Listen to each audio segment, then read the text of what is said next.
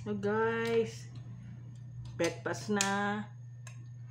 Itong niluto kong garlic rice na mainit pa.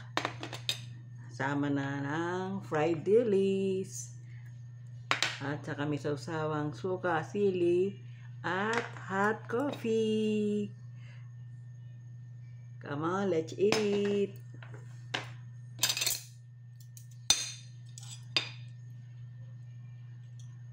O, ayan pa yung bawang.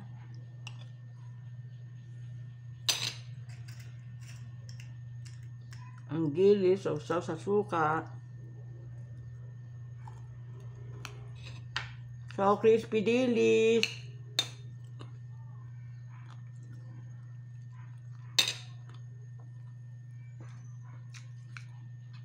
So, ng breakfast ko. Thanks for watching. Bye!